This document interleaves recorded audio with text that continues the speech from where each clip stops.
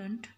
In last lecture we have studied the most important theorem homogeneous equation of a degree 2 in x and ax square plus 2hxy plus by square is equal to 0 represent a pair of lines passing through the origin. If h square minus ab this condition is most important. h square minus ab is greater than or equal to 0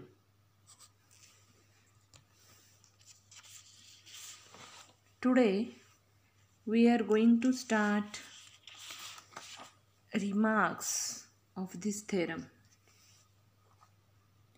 If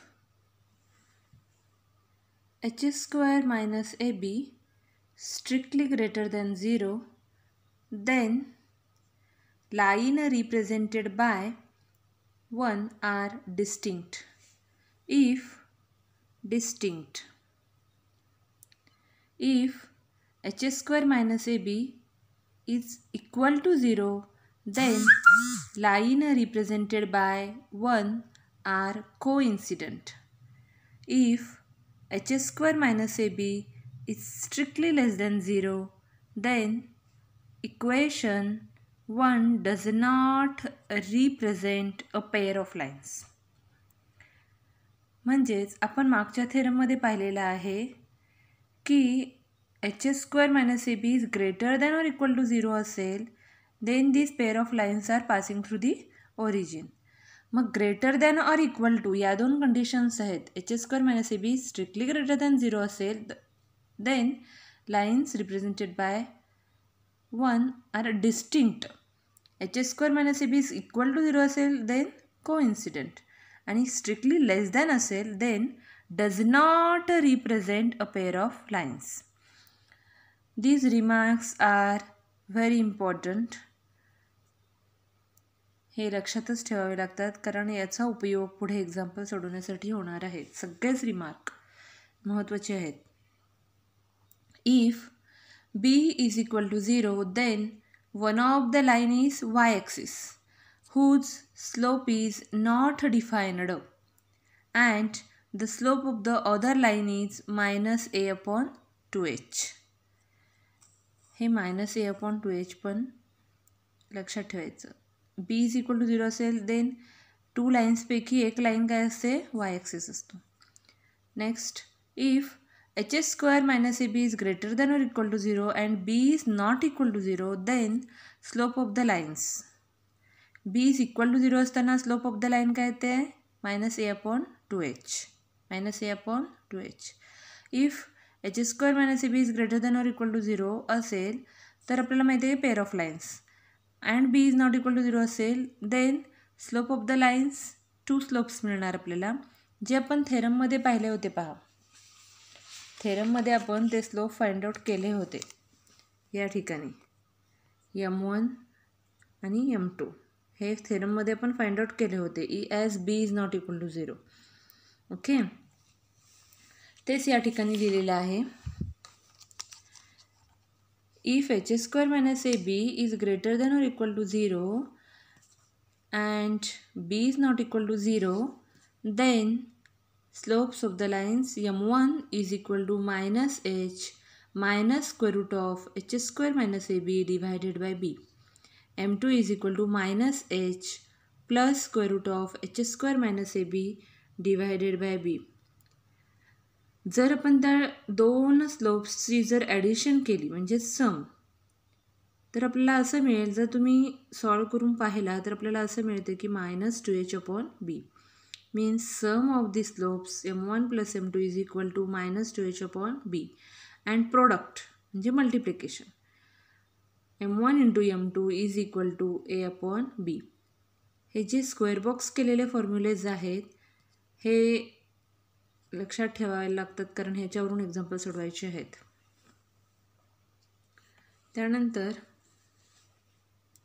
let m be the slope of the one of the lines represented by a x square plus two h x y plus b y square is equal to zero therefore its equation is म्हणजे M हा जर एक slope घेतला आपण मग स्लोपवरून equation write down करायचं आपल्याला माहिती आहे की y is equal to m x जर एम स्लोप असेल तर y is equal to m x now solving equation one and two x square plus two h x y plus b y square is equal to that is equation number one y is equal to m x that is equation number two solving equation one and two for m स्लोपसाठी आपण काय करणार? ते equation solve करणार.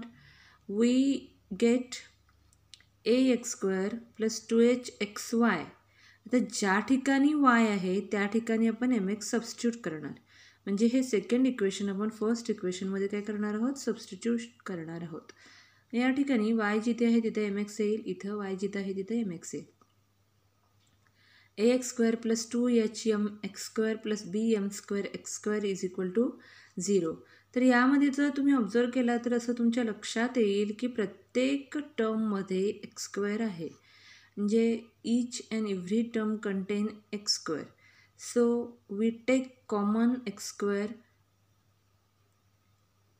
जर आपण यातून X square common बाहेर काढला आणि तो एक्स स्क्वेअर या बाजूला जाऊन म्हणजे लेफ्ट हँड साईडची टर्म राईट हँड साईडला गेली की ती मल्टिप्लाय होत असते. म्हणजे मल्टिप्लाय असेल तर डिवाईड होत असते असं होत असते. मग या ठिकाणी जो एक्स स्क्वेअर आपण कॉमन काढतो तर तो एक्स स्क्वेअर कॉमन काढून जर त्या बाजूला नेला तर तो कॅन्सल आउट होतो कारण तो झिरोला मल्टिप्लाय होतो.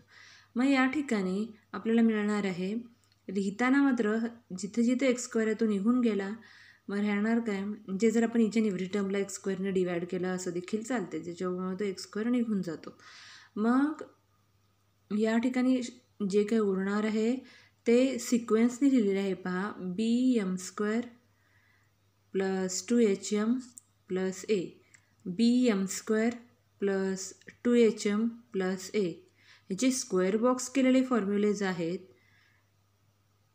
हे लक्षात ठेवावे लागतात. B m square plus two h m plus a is equal to zero is an auxiliary equation of a x square plus two h x y plus b y square is equal to zero b m square plus two h m plus a is equal to zero okay तो यावरून आपण काही examples पाहणार आहोत.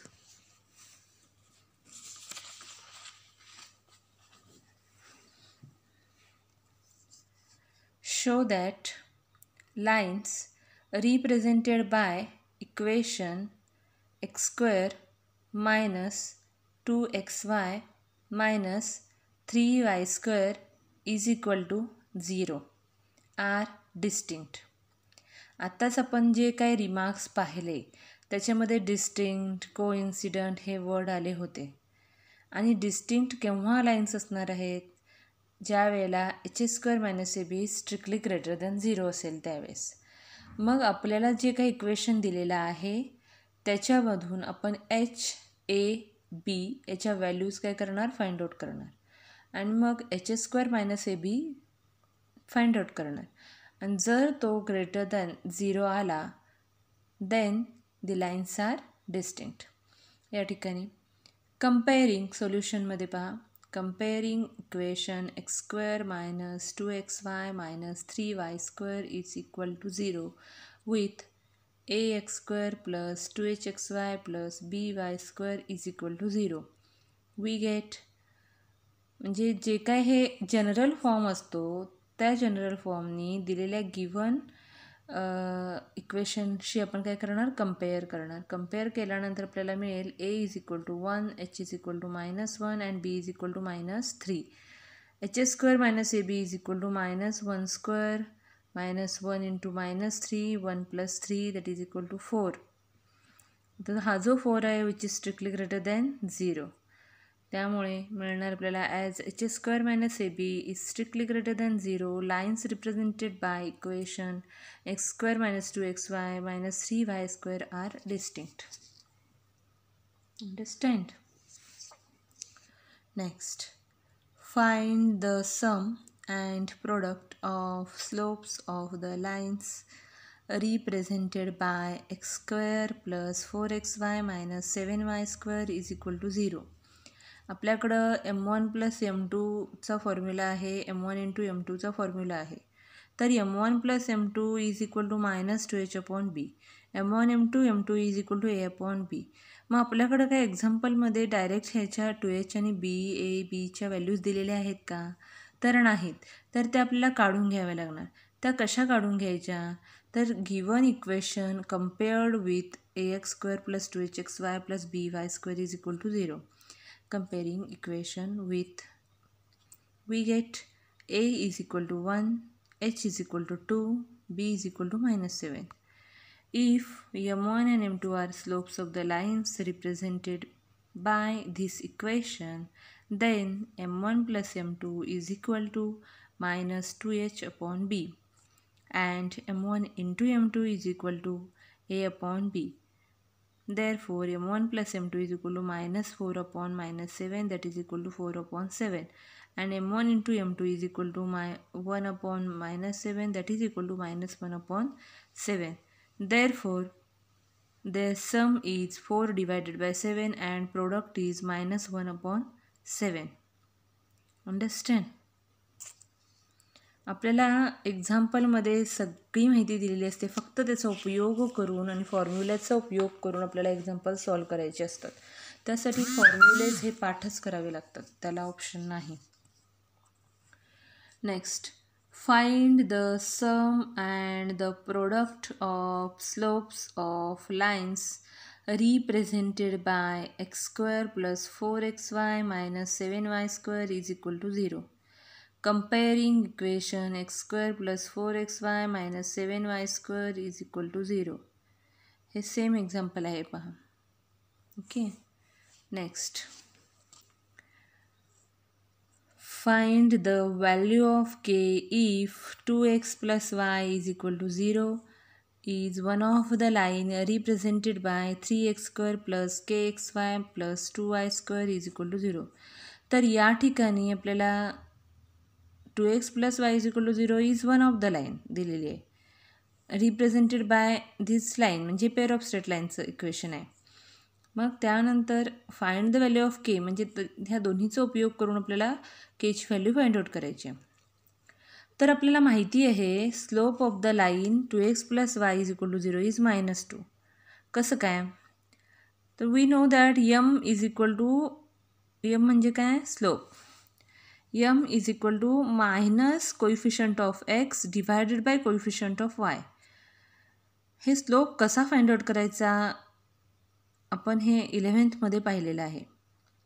तर अशा प्रकारचे equation असताना म्हणजे X plus B Y plus C is equal to zero अशा प्रकारचे इक्वेशन असताना slope is equal to minus A upon B असतो. म्हणजेच एक्सचा कोइफिशंट डिवायडेड बाय वायचा कोइफिशंट असं असतो.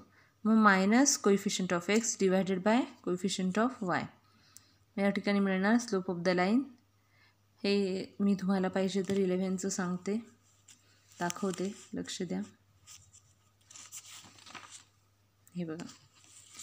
स्लोप अँड इंटरसेप्ट हा इलेव्हनचा पार्ट आहे. The equation a x plus b y plus c is equal to zero can be written as. हे आपण अशा पद्धतीने देखील राईट डाऊन करू शकतो. म्हणजेच बी वाय लेफ्ट हँड साईडला ठेवलं आणि बाकीचे टर्म तिकडे नेले minus a x minus c. आणि जर इच अँड एव्हरी टर्मला आपण बीने डिवाईड केलं तर आपल्याला वाय इज इक्वल टू मिळेल minus a upon b x minus c upon b if b is not equal to zero म्हणजे आपल्याला माहिती आहे की डिनॉमिनेटर झिरो नस नसतो कधी. Comparing this with slope intercept form slope of the line is m is equal to minus a upon b आपल्याला मिळणार. ओके म्हणजेच that is equal to minus coefficient of x divided by coefficient of y. Okay coefficient of x काय आहे? Minus ए upon बी आणि coefficient of Y काय one आहे. त्यामुळे येणार काय? Minus a upon b okay म्हणजे हे लक्षात ठेवताना आपल्याला फक्त हा फॉर्म्युला लक्षात ठेवायचा आहे.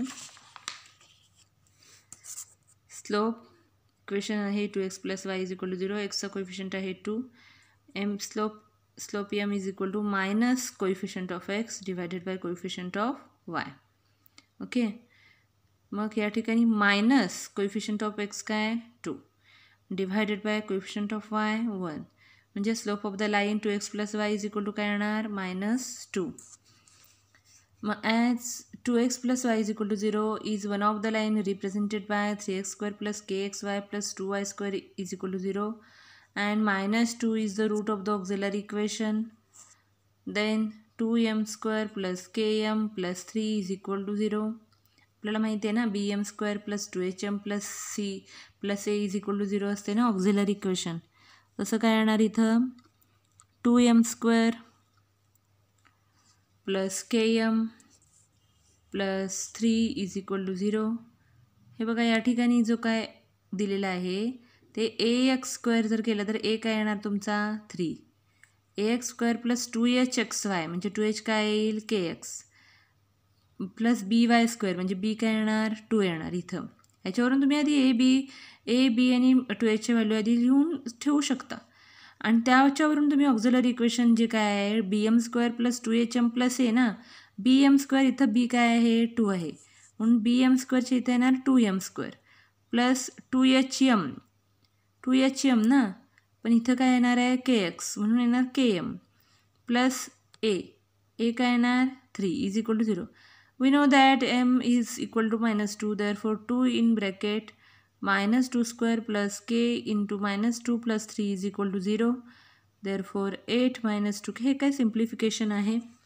Eight minus two k plus three is equal to zero minus two k plus eleven is equal to zero therefore four two k is equal to eleven is four k is equal to eleven by two given answer. Okay. I hope you can understand it.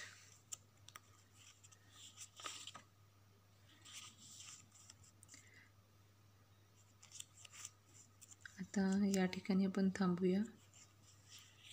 आज आपल्या काही remarks आणि त्याच्यावरचे काही examples झालेले आहेत. याच्या पुढचे एक्झाम्पल्स नेक्स्ट लेक्चरला होतील. Okay thank you